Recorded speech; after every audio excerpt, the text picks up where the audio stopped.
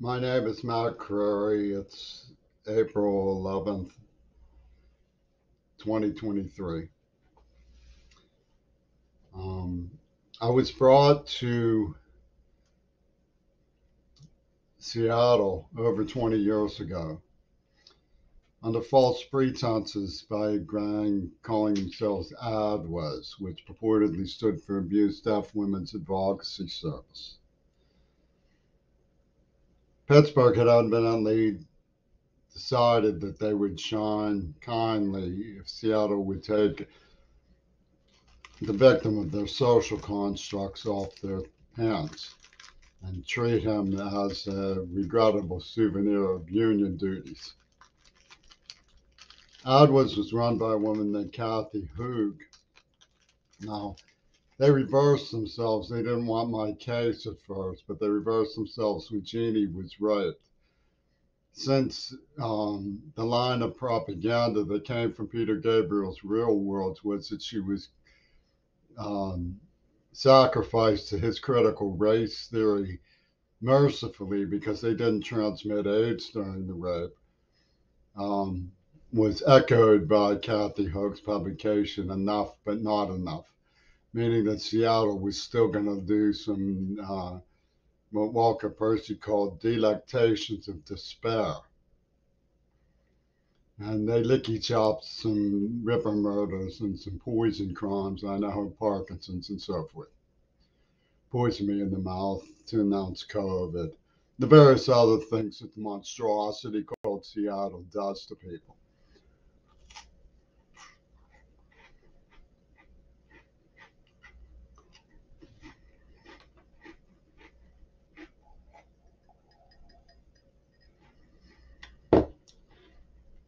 That's not really enough to tell you what's going on.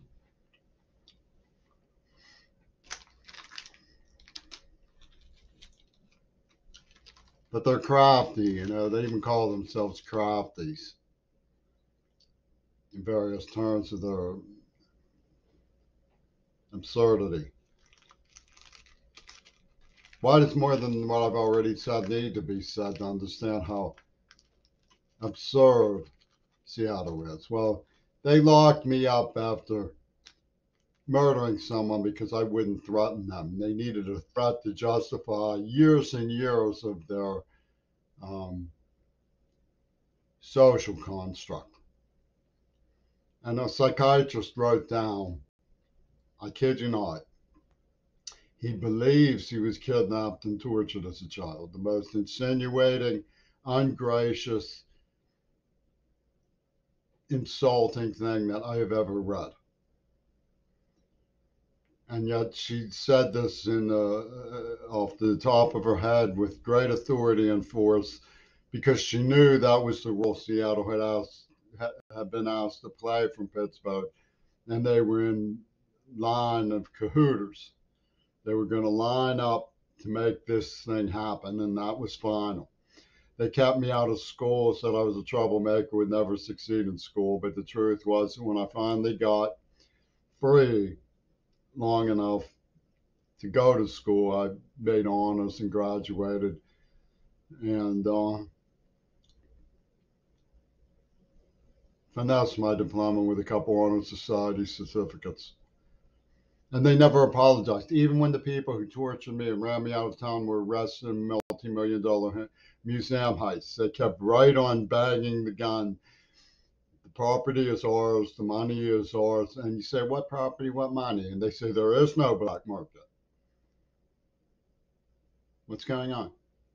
Is Seattle and Pittsburgh corruption is so over the top that they can get away with this and slap five openly at the mouth poison crime barbershop with Peter Gabriel because it's his critical race theory. Now, there's critical race there and there's critical race there, right? And we all want Black Horizons to teach about slavery and uh, degradation of Black people so that our society gets over it and learns to embrace one another. And we want mental health programs so Black people don't just sit around nursing their grudges like Second Amendment hillbilly whites and then going berserk, you know. And we want reform. I want reform of Hollywood, so these kinds of Rambo incidents aren't being encouraged constantly.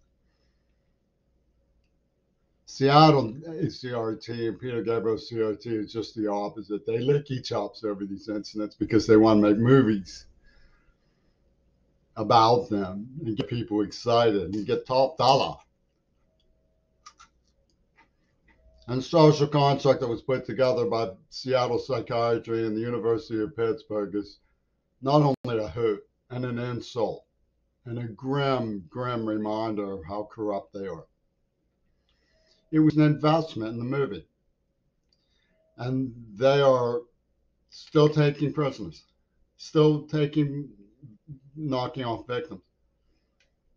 And they can't get enough of it. When you say there's CRT and there's CRT, there's legitimate CRT and there's active shooter CRT, which is what's going on with Seattle and Pittsburgh. It comes from the hooligan mind of Peter Gabriel people should really get it through their heads that this man is off his rocker. I got in trouble with him. I'm,